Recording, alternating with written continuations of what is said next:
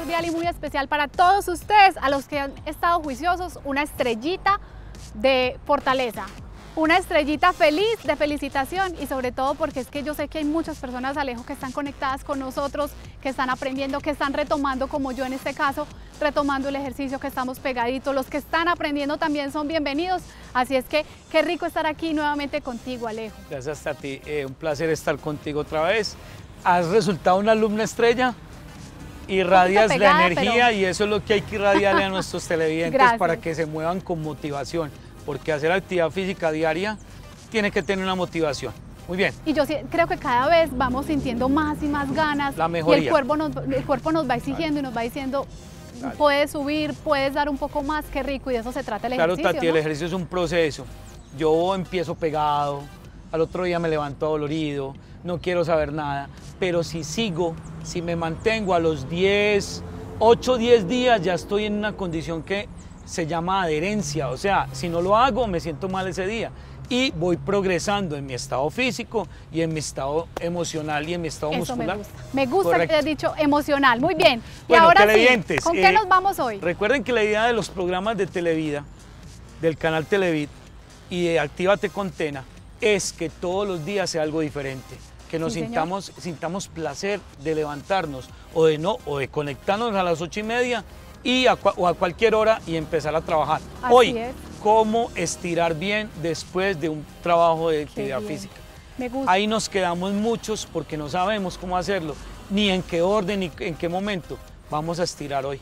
Y vamos a tener dos opciones televidentes, un estiramiento en piso y un estiramiento para las personas que no pueden estar en el piso, que es eh, Tatiana lo va a hacer de pie. que tengo un bastón. Pueden ir por el palito de escoba. bueno, yo tengo un palo de escoba Pero Tatiana, y televidentes, hay un requisito. ¿Qué tenemos que hacer antes de estirar? Si el programa hoy de estiramiento. Calentar un poquito. Activar, correcto, calentar o activar. Entonces vamos a iniciar con un trabajo de tobillos hasta hombros de movilidad articular. Recuerden, ¿por qué no se estira frío?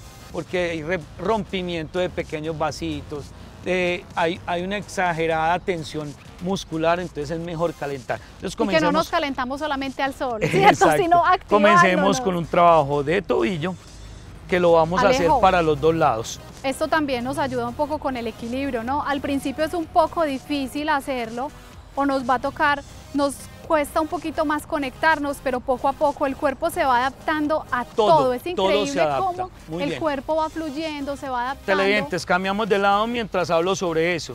El equilibrio y la capacidad de sostenerse también se entrena. Todo eso se entrena, es correcto. Al principio yo puedo decir esto es muy difícil y me pego del muro, pero después voy a lograrlo. Muy bien, cambiamos de pie. Vamos en un sentido, no importa el cual arranques. Estamos haciendo una activación porque hoy la clase es aprender a, a estirar. Perdón. Vamos a hacer un buen estiramiento completo del cuerpo después de cada actividad física. Cambiamos de sentido, Tati, televidentes. Muy bien. Ahora, protegemos las rodillas, que la espalda quede larga, no encorvada, y vamos hacia afuera con esas rodillas, o con las piernas mejor. Esto es como un baile, ¿no? Es como, sí. como una champeta. Más o menos. Una preparación. Se te vino a la cabeza la imagen de bajando en champeta. Claro que sí. Cinco, cuatro, tres. Sientan como las piernas atrás se activan y cambiamos. Ahora más adelante. ¿Cuál es la forma correcta de hacer este ejercicio? Este ejercicio es simplemente que hagas círculos con la rodilla. ¿De acuerdo? Y que se empiecen a activar. Muy bien, Tati. Ahí trabajamos rodilla y pierna. Ahora nos vamos con la cintura y rematamos con el hombro. Recuerden, activar para que estiremos sin problemas de contracción excesiva del músculo. Vamos. Alejo, ¿cuáles son? Tú nos has mencionado algunos peligros de, digamos peligros por decir que se va a lesionar un músculo, ¿sí?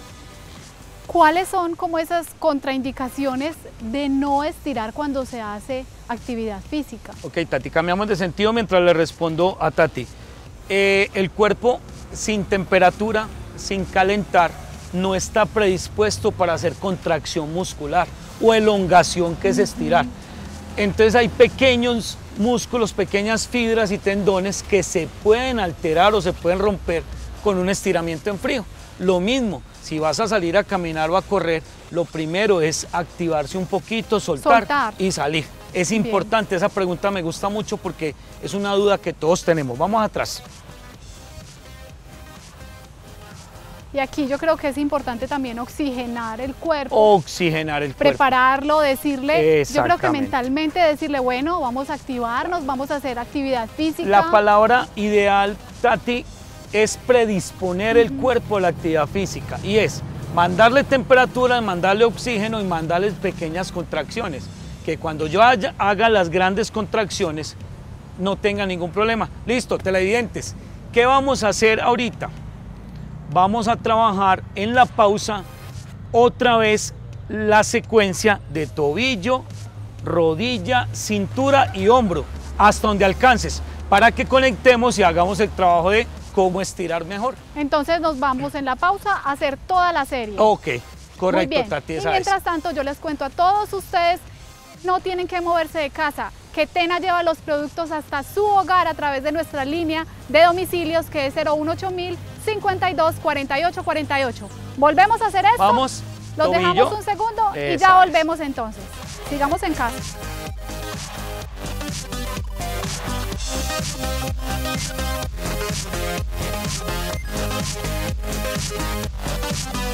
right back.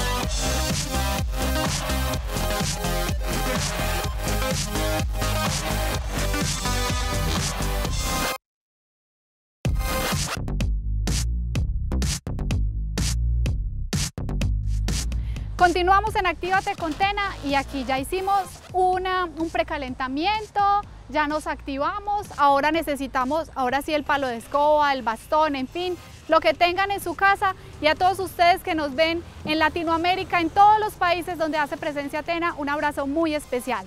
¿Listo, profe? Muy bien. Ahora sí. Tati Televidentes, como la idea es que tengamos dos opciones, porque sabemos que hay personas que les da dificultad hacerlo en el piso, vamos a tener, como lo mencionó Tati, el bastón o la silla o el muro, el muro que tengamos a la mano. Es simplemente porque le voy a, vamos a dar dos opciones de estiramiento, una en piso y una de pie, para aquellas personas que levantarse y acostarse les causa dificultad. Muy bien, un estiramiento bien hecho, bien ejecutado, no debe bajar de 15 segundos, Tatiana entre 15 y 40 segundos que sientas que el cuerpo está estirando en esa parte, es donde lo debemos sentir.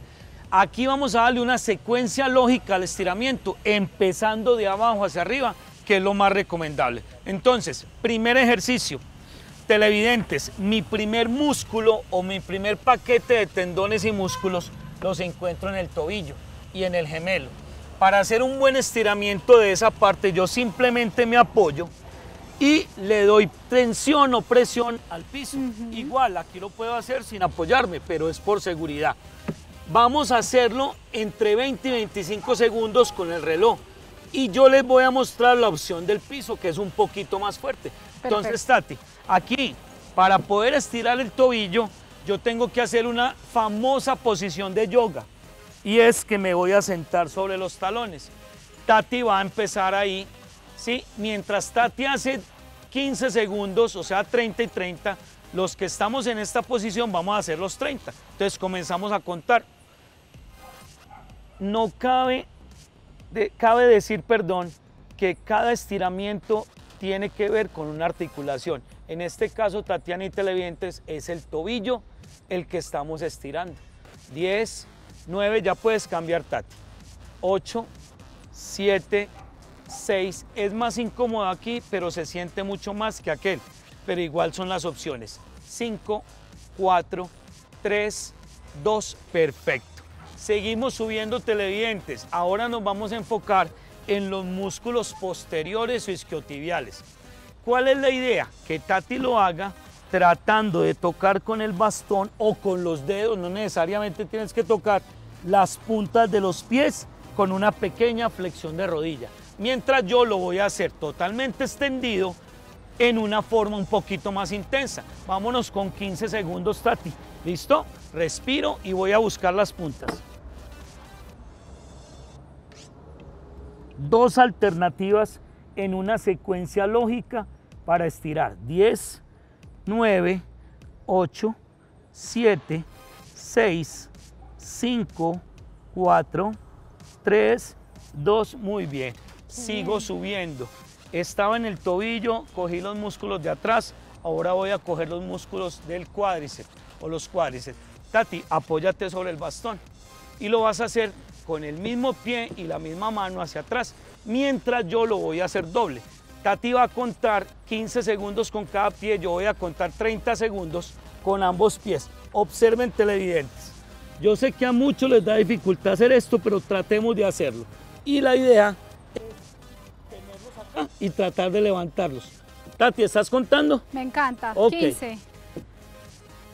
Yo voy aquí en 15 también, pero yo no tengo que cambiar, Tati, sí. 10, 9, 8, 7, 6, 5, 4, 3, 2 y descanso.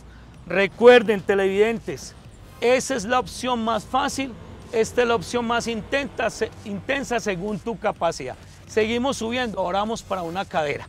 Aquí sí le tengo que explicar a Tati vamos a hacer la famosa sentada sobre una pierna. Apoyo, equilibrio. Si no te sientes seguro con el bastón, utiliza una silla o un banco o el muro y vamos bajando hasta que llegues al punto donde sientas que el glúteo va trabajando. Aquí hay que cambiar. Igual el mío, el mío en el piso se llama torsión y es para la cadera. Me gusta mucho esa torsión, que es también una postura Ok. de yoga, ¿no? es una postura del yoga. La torsión la hago televidentes mientras Tati hace el otro. Cojo una de las piernas y la tiro hacia afuera, mientras mi cabeza y mi otra mano van hacia el otro lado. Ahí está. El mismo ejercicio de dos formas diferentes. 10, 9, 8, 7, 6, 5, 4, 3, 2. Ambos cambiamos, Tati. Yo ya cambié. Ok, perfecto. Voy hacia el otro lado y hago la torsión.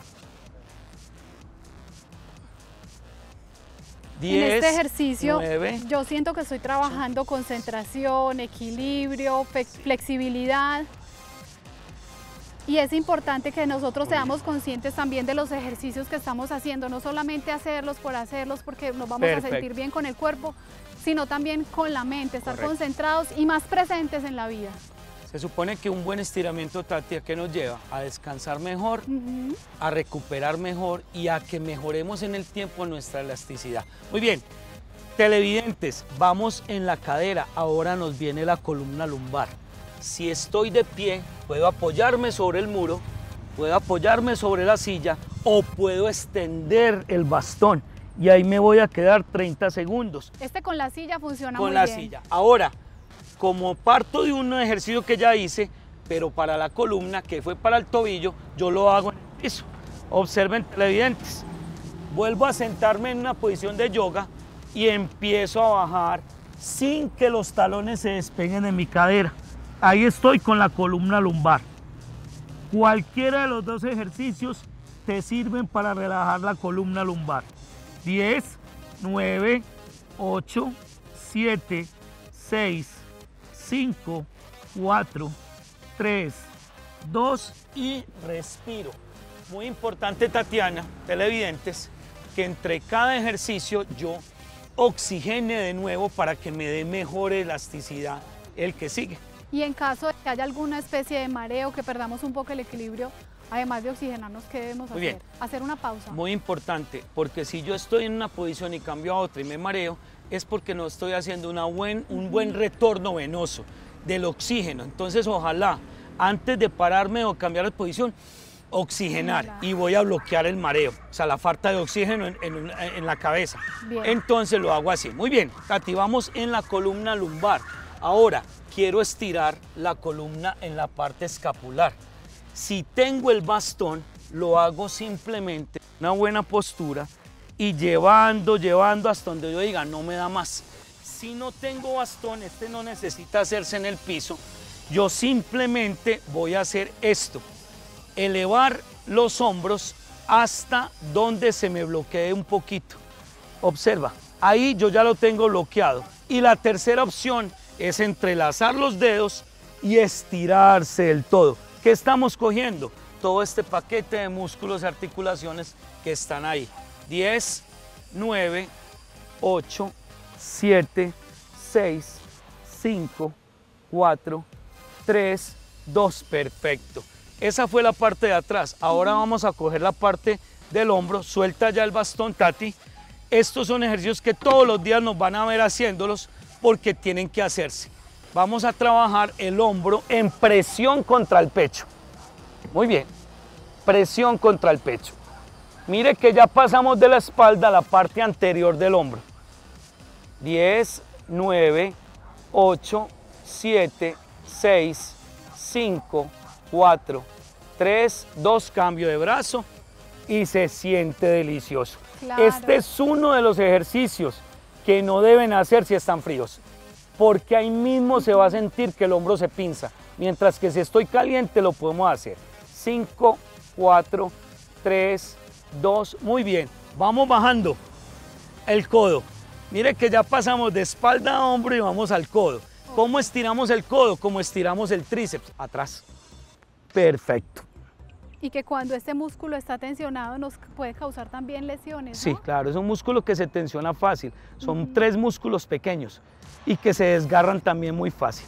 Recuerden en este ejercicio evitar hacer esto, que obliga, porque si yo tiro la espalda atrás y jalo el músculo, la postura me ayuda a estirar mejor. Cambiamos, Tatiana.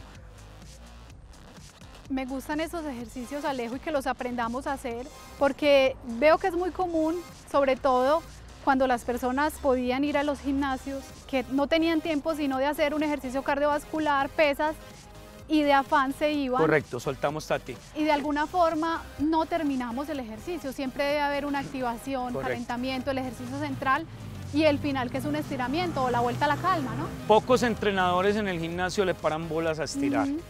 Para mí tiene que hacerse igual de bien al, al, plan de entrenamiento de ejercicio. El estiramiento es lo que me da que al otro día amanezca mejor para hacer otra rutina o otro plan de entrenamiento. Digamos que hay personas que nos están, mientras nos dices qué hacer, hay personas que nos están viendo desde el principio que hacen ejercicio pero que siguen sintiendo dolor o molestia al otro día de haberlo realizado. ¿Qué deben hacer? Tatiana, en el, en el tiempo debe ir bajando la sensación de molimiento del ácido láctico. Si eso persiste es porque hay algo que estoy haciendo mal o muy repetitivo o muy cargado. Me gustaría que consultaran con un médico de la actividad física o con un médico general que mirara a ver qué está pasando. Listo. Seguimos bajando la muñeca, muy importante. Cogemos los cinco dedos y suavemente lo tiramos atrás. Ojo que aquí también el codo se está estirando. ¿Sí? ¿Se acuerdan de una lesión o un dolor que se llama epicondilitis? Sí, duele Este es uno de los ejercicios que más lo previene. Si ya lo tengo es difícil quitarlo, hay que hacer desinflamación y todo eso. Pero si no lo tengo, apenas lo tengo leve este ejercicio. Ahora, la misma mano suavemente, túnel del carpio. Duele. Túnel del carpio o un si estiramiento. Duele es porque hay una inflamación. Porque puede estar inflamado, sí señora. Los o porque que estamos en el computador mucho tiempo, ¿no? Correcto, digitando. Cambiamos y hacemos el mismo. Los cinco dedos hacia atrás. Recuerden televidentes, si es menos de 15 segundos no alcanza a coger el estiramiento como tal. Y cambiamos acá. Muy bien, y ya te voy a decir, Tatiana y televidentes, cuál es el complemento después de un estiramiento. Además de una buena hidratación. Además de una buena hidratación. Soltamos, muy bien. Parte álgida para estirar con conciencia el cuello. El cuello no se puede estirar de cualquier manera. Es una parte tan sensible del cuerpo que si le doy una fuerza innecesaria lo puedo desgarrar. El famoso mico es un espasmo. El famoso desgarre de cuello es horrible. Entonces, hay que saberle darle la presión de menos a más. Muy bien, miren este estiramiento que se lo recomiendo mucho. Si tú mantienes el cuello tenso, me pongo una mano sobre el hombro. ¿sí? Siempre con una buena postura. Y la otra mano la pongo en la cabeza. Y hago el contrajalón. El contrajalón es que esta mano la tiro para abajo y esta para el otro lado. Mira, Sin hacer mucha presión. Eso, con una presión que vaya sintiendo hasta diga, ya listo, ahí lo tengo es un excelente ejercicio para estirar el cuello y mejorar esa fuerza. Alejo, ¿y la cabeza cómo debe estar? La cabeza debe estar Paralela siempre mirando al frente, Tati. al frente. Si la pones a mirar a otro lado, está mal ubicada. Y cambiamos. Ponemos la otra mano en el hombro y nos jalamos las dos partes en contrario. Y ahí tenemos un estiramiento del esternocleidomastoideo. Músculo grandísimo, pero que se tensiona muy fácil. Listo.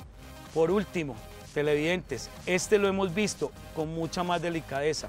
Ambas manos y hasta que usted sienta que tiene la cabeza estirando atrás. Yo creo en que no hace falta hacer mucha presión, simplemente No con el hacerle propio mucha peso presión. de los brazos es suficiente. Subimos, respiramos y miren este, facilito, atrás.